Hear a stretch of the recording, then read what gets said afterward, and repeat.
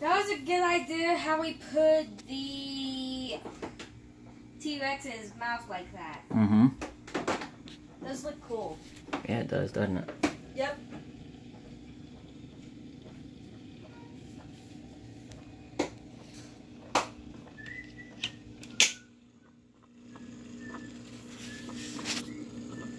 So this is the vivarium that we made.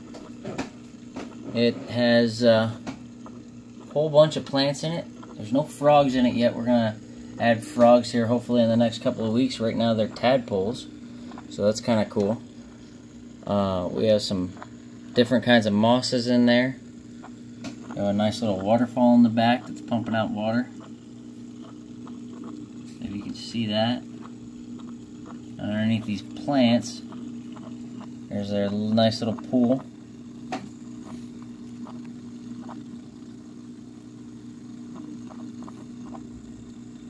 So some rocks in there. A T-Rex head. A skeleton. There's some, I want to say, uh, dinosaur eggs back in there with plants growing out of them because they're fossils now. And then uh, a nice piece of driftwood in there. And then we used a uh, small piece of regular cork bark. It's uh, been hollowed out. And uh, we ran the tubing from the pump all the way up and around over here and then back through this hole over here where the water comes out right here. So it's really, really cool. Um, took us probably about six hours total, but uh, it's really awesome. We got all the plants that we had in there, and it gives a nice, nice uh, hiding spaces for all the frogs. Uh, we've got four tadpoles right now currently, and they are uh, they're growing. They've got their hind legs, uh, but nothing else. So they're probably got about another three weeks, I would say, at the most before we transfer them in here. I'm hoping two weeks, but um, it might be four, you know.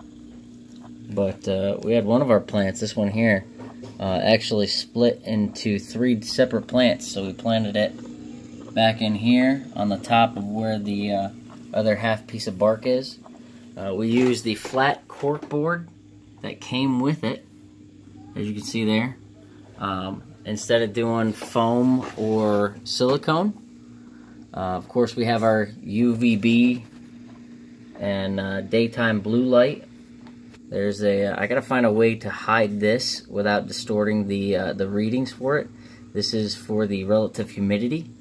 And then back over here in this corner, you can see this moss vine growing here. This actually is where our thermostat is housed, so that our uh, our frogs can't actually get into it or anything of that sort. But uh, and you might get another picture of the Tyrannosaurus Rex mouth. We put a plant growing out of it. That's a fern that's growing out of there, and then a nice little piece of uh, moss in there, so that they had a nice little space that they could crawl in and hide down in. It's nice and soft uh, I figured that might be a good thing to do. But this is uh, this is our vivarium. Um, later on this week, we are going to take and possibly add some silver tails and some isopods so that they can help with our cleanup crew. I'm not too sure about how that's going to work very well because uh, there's a lot in this tiny little terrarium, but that's how uh, that's how Logan wanted it. So I'm really pleased with it. It uh, is our first build ever. Um, so you know, let us know what you think. Um, let us know what uh, what ideas for our next build maybe because he's got uh, a couple little tadpoles growing in there, but he really wants to take and uh, add extras. So I'm not sure exactly, and like I said, this, we are brand new to, uh, what do I want to say, to this uh, hobby. This is a 12 by 12 by 18. Um, and then underneath here we use the, uh, what do I want to say, the uh, Hydro balls underneath. And uh, we tried the, um, what do I want to say, the uh, actual mesh that they had. But instead we ended up using just weed blocker. Oh my goodness, what a difference it was because having the pump in there um, and using the ZooMed, um, what do I want to say, the ZooMed uh, substrate uh, tropical soil mix that they had.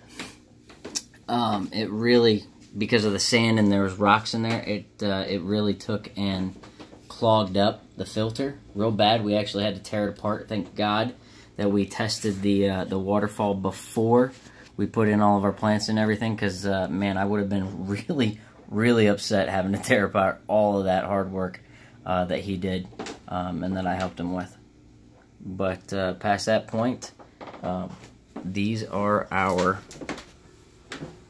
little tadpoles in here if we can see them I don't know if the camera will zoom down in there or not. It doesn't look like it. I have to look up underneath here. And you can see them. They got their little legs. So. But uh, that's uh, what I have in there for their food and everything is um, I crushed up some frozen lettuce and uh, some Repto Mini floating sticks. I took and added uh, some ground up pieces of both of these in there. So they eat those off the bottom. And then uh, there's some lettuce in there also. A couple of rocks. So that that way they have. But uh, yeah that's what we got going on.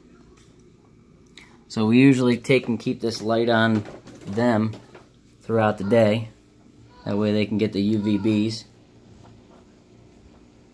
But uh, hopefully in a couple of weeks we'll check back and we'll see exactly what's going on as far as having frogs in this uh, this nice vivarium. Thanks for watching. Uh, again, like and uh, comment. Tell me what, what we like, what we don't like. Thanks.